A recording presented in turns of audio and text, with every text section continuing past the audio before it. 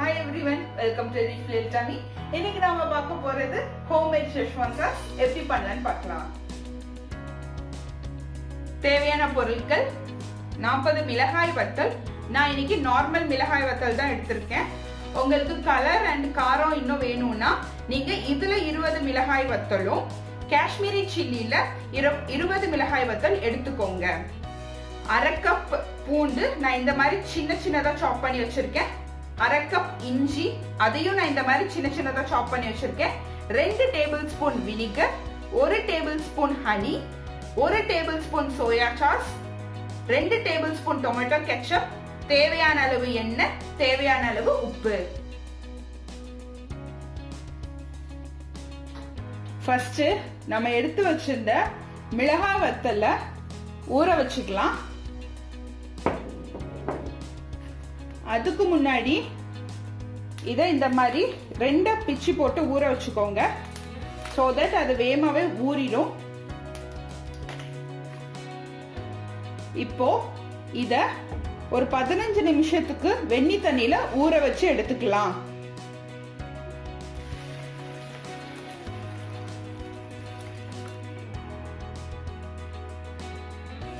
நம்ம ஊற வச்சு பதினஞ்சு நிமிஷம் ஆச்சு. இப்போ இத நம்ம அரைச்சு எடுத்துக்கலாம். இப்போ நம்ம ஊற வச்ச மிளகாய் வத்தல ஜார்ல டிரான்ஸ்ஃபர் பண்ணிக்கலாம்.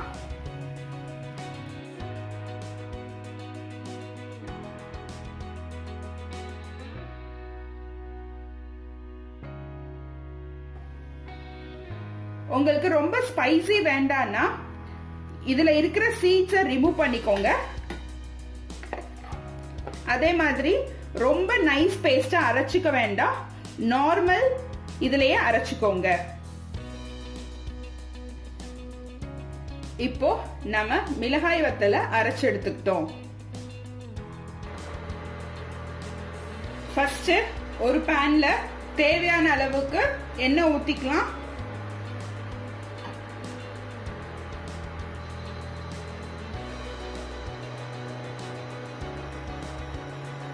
எண்ணெய் சூடாகட்டும்.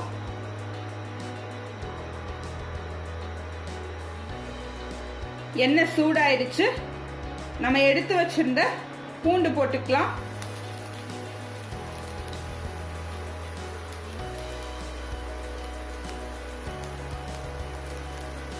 நெக்ஸ்ட் நம்ம எடுத்து வச்சிருந்த இஞ்சியை சேர்த்துக்கலாம்.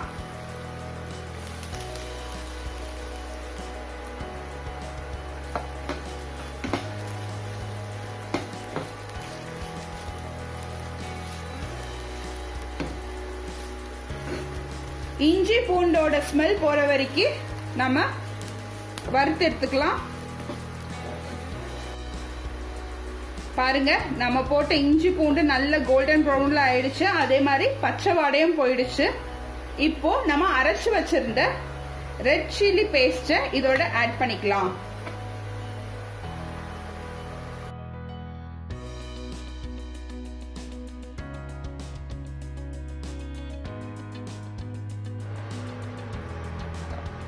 கொஞ்சம் தண்ணி சேர்த்து நல்லா கலந்து விட்டுக்கோங்க.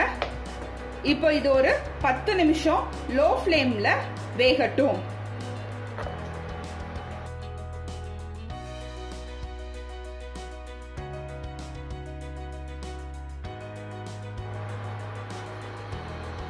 இப்போ பத்து நிமிஷம் ஆச்சு.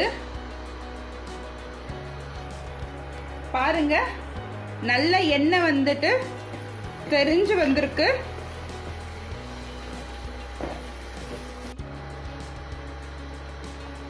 இப்போ இதோட சோயா சாஸ் ஹனி உங்கள்கிட்ட ஹனி இல்லாட்டி நீங்கள் ஒரு டேபிள் ஸ்பூன் சுகர் யூஸ் பண்ணிக்கலாம். டொமேட்டோ கெச்சப்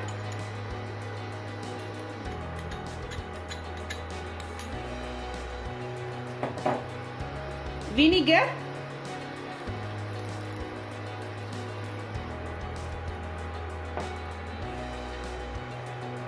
தேவையான அளவு உப்பு சேர்த்துக்கலாம்.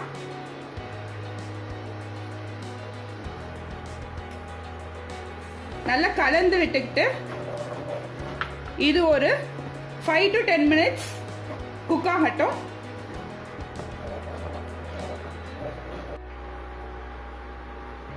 இப்போ பத்து நிமிஷம் ஆச்சு.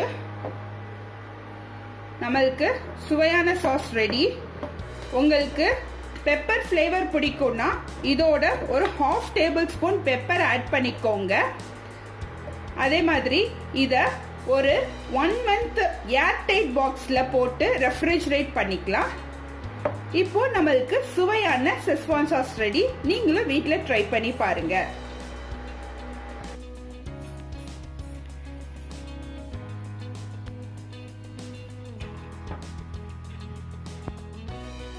என்ன ஃப்ரெண்ட்ஸ் எனக்கு நம்ம பண்ண ஹோம்மேட் செஸ்வான் சாஸ் உங்க எல்லாருக்கும் பிடிச்சிருக்கு நம்புறேன்.